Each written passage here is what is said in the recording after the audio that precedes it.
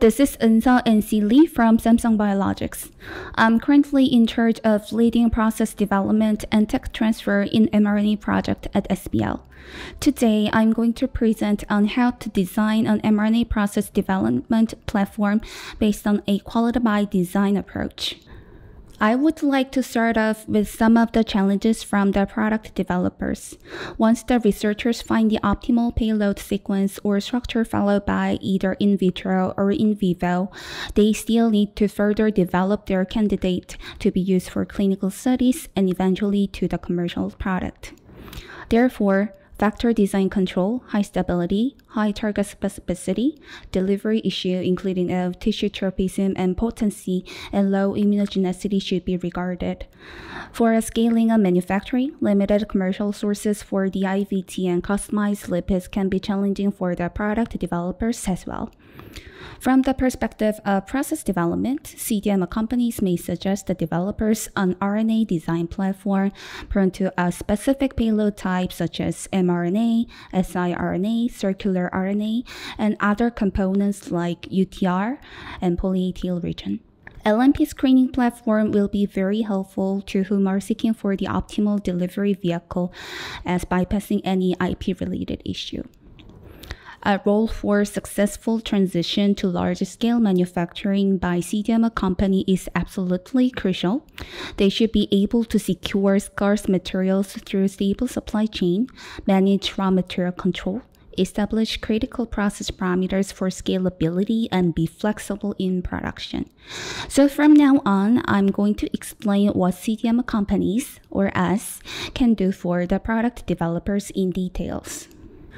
Overall, mRNA therapeutics brings all different elements together from RNA payload engineering to manufacturing process engineering. As mentioned earlier, mRNA CDMO companies need to understand what kind of services are in thirst from RNA product developers. So, RNA CDMO is not just an at-scale mRNA production, but science-driven service. For example, to evolve the current uh, research level to the optimized platform in production, scientists and engineers at CDMO companies also need to fully understand the fundamentals of RNA structure and delivery vehicle like lipid nanoparticles. When modalities on various types of RNA and delivery carriers are well explored, a comprehensive manufacturing process comes afterward. Thanks to a relatively simple cell-free production of mRNA over conventional biologics, multiple RNA payloads may be developed in a general IVT platform with a little more elaboration. For mRNA encapsulation, CDMO companies should flexibly design a scale-up process with an appropriate study such as LNP mixer comparability study suitable for manufacturing.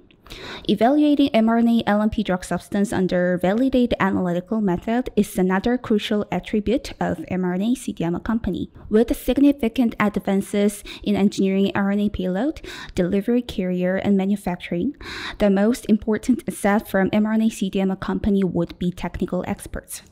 Highly experienced staffs with hands-on experience will ensure the operational excellence and quality consistency.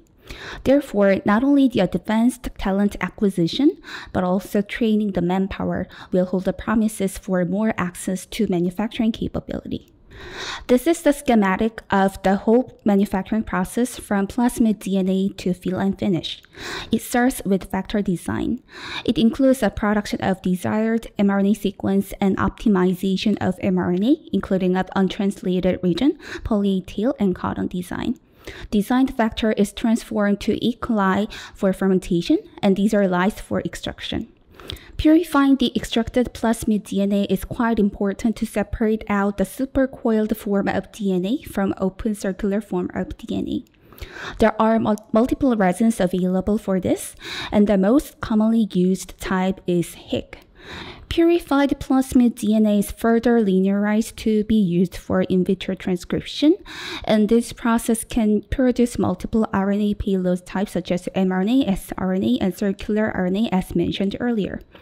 For mRNA, as you may know, there are two types of capping method based on um, a vaccinia enzyme and cap analog like CleanCap and ARCA. Depending on the capping method, mRNA purification workflow can be slightly different. Then purified mRNA is further encapsulated into delivery cargo like lipid nanoparticle, and T-mixing method is mostly used for at-scale LNP manufacturing at this moment. The last stage is final bulk fill. Final formulated bulk can incorporate either cryoprotectant or lyoprotectant. This box is especially highlighted in blue because the example for process development will be on lyophilization later on this presentation. Of course, it should include the validated analytical test, test methods. To offer multiple modalities from numerous uh, clients, manufacturing flexibility in various types of RNA payload and LNP formulation technique is a key component for an immediate responsiveness. I'm not going to cover too much details on RNA molecular engineering because most of the clients provide the whole sequence for the large-scale manufacturing to CDMO company, but let's just assume that we initiate the project from the very beginning because an mRNA core technology embraces the design of mRNA construct in general. So for example, when client selects the target disease, we can screen the select the candidate sequence based on AI system or li literature-based and open source data like Eterna. In silico, screened candidates are in vitro transcribed into mRNA with the optimized components like 5' cap structure, 5 and 3' UTR, and poly A region. They are further evaluated the functionality of mRNA based on both an in vitro and in vivo expression. After all, the best working sequence will be selected to satisfy the standard of stability, structure, gene expression, and immunogenicity. Furthermore, a considerable focus is essential with regards to potential impact on immunogenicity, drug efficacy, purity, manufacturing manufacturing productivity and operational expense. Here, uh, you may see a sequence of process development, and then it can be explained by what is called quality by design. The first step of QBD is to identify quality target product profile. The examples of mRNA process specific QT-PPR dose, sequence, administration route, payload type, and product quality attribute. Following risk assessment enables to identify critical quality attribute and critical process parameters. In other words, throughout this risk assessment, it will give you the answer in which parameters need to be studied and controlled for your process. After identifying CQA and CPP, that's where design of experiment or DOE comes in place. Many people may confuse that quality by design is equivalent to DOE, but in fact, DOE is part of QBD as you may see here. DOE is a process to relate CPP to CQA and to define design space. These words can be quite confusing to understand, so let me put it into simple words. Relating CPPs to CQA means that we want to screen which process parameters impact the CQAs. In DOE, process parameters and CQAs are represented by factor X and response Y, respectively. Or it is to find a function of X and Y. Once you find the critical process parameters from the screening step, you define the set point and acceptable range from the design space. And the example of this design space will be shown later on.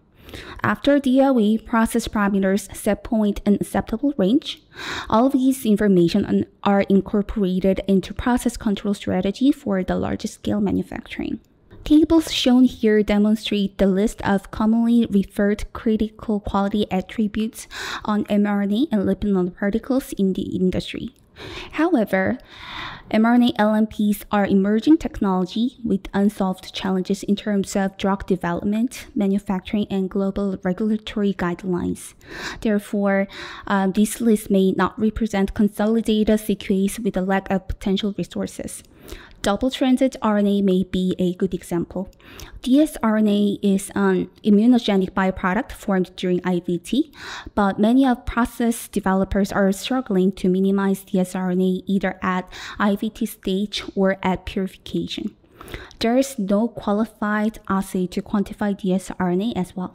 At this moment, USP Guideline published a draft version of analytical procedures for mRNA vaccine quality, and this means that deeper understanding in the quality and consistency of analytical method is expected to fully address the comprehensive set of CQAs. These are the examples of process parameters.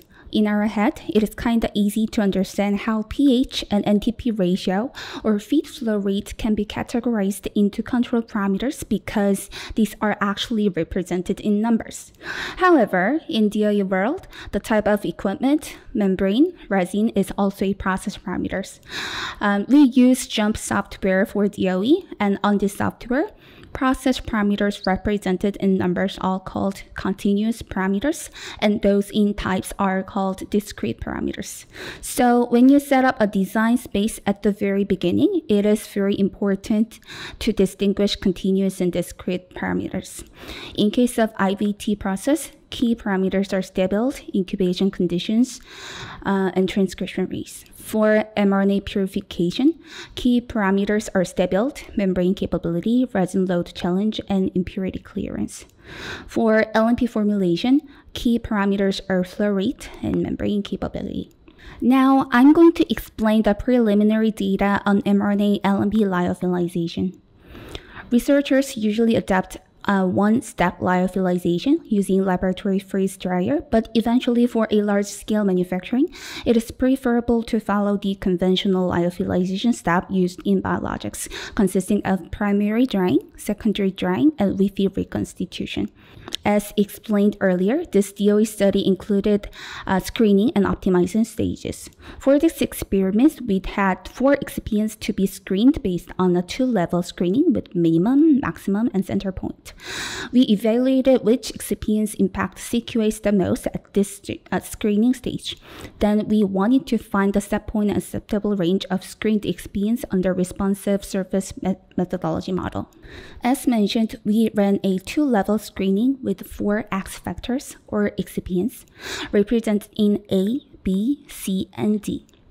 When you input this information into JUMP software, they generate the uh, experimental model as shown on this table. Each group has a combination of minimum, max, and center points. And for this case, the minimum represents no excipient at all. The maximum represents a certain level of excipient. We ran the experiment according to this table. CQAs for the responses Y that we selected for this DOE were encapsulation efficiency, mRNA purity, LNP size, and polydispersity index through dynamic light scattering.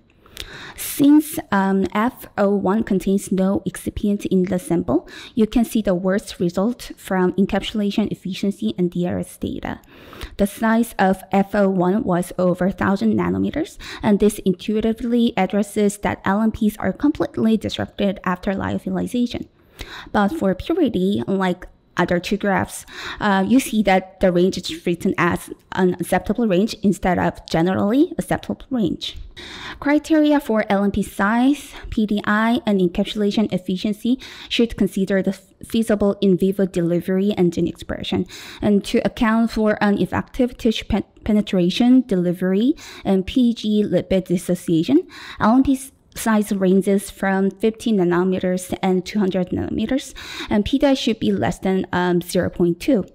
However, there's no definitive criteria for mRNA purity at this point, although most of industry accept the minimum value of 70% to be used for therapeutics. Acceptable range of mRNA purity will be plus minus 5% from the control value, which can be varied uh, from candidate to candidate we don't see a distinctive discrepancy between control and F1 as well. So that is why. We only take tiny, tiny um, amount of sample for capillary electrophoresis used in this MRI purity analysis, so data point here may not represent the whole sample pool. When we related all of Y responses into each experiment model on JUMP software, we could confirm that excipient A and B mostly impact the CQAs. Once the excipients are screened, we wanted to find the optimal set point and acceptable range of excipient concentration satisfying the CQAs within an appropriate limit. We ran a response surface methodology, or RSM model, as there might be nonlinear relationship between X factors and Y responses. There's no mean or max for RSN. Rather, we input certain values to generate the experimental models. Number 1, 2, and 3 do not represent the actual value, rather it is an order of increment for your information. Again, we could observe the similar trend in all of the CQAs for the optimization stage. An additional step here is a range fitting. After relating Y responses to X factors, we can check the interaction plot with the desirability. A set point of each excipient can be calculated by locating Y values meeting the maximum desirability from the plot. Then, white region in this contour profile further exhibits at which range the limit of CQA can be secured. So please let me explain our uh, manufacturing capability at Samsung Biologics. Our mRNA plant is located in Songdo, Incheon, South Korea. And we do offer one-stop mRNA manufacturing from conventional mRNA siRNA manufacturing, LNP formulation, and DP fill and finish.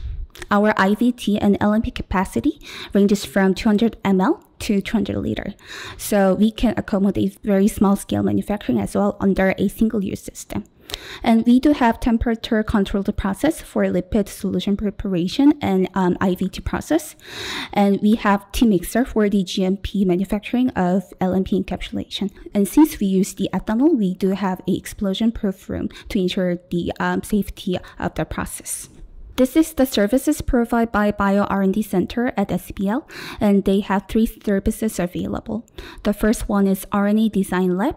They provide AI-based optimal RNA sequence designed in silico platform, and that they can also customize the optimal mRNA sequence design service to improve the protein level and RNA stability. So this is what we saw on the um, RNA molecular engineering development slide. And the second service is the poly A shield. So there's a patent going on, so I cannot disclose the detailed information, but with this technology, it can increase the stability by blocking exonuclease, and then it can ensure consistent high protein expression. And the last one is the circular RNA service. The last service can provide a novel RNA platform with a stability. So here, Samsung Biologics, as your first choice of mRNA CDMO partner, we provide highest compliance at CGMP level with proven quality with more than 231 approvals from over 50 health authorities. And we offer flexible scale from lab to commercial scales for all of the needs under dedicated team of mRNA experts. Thank you for your attention.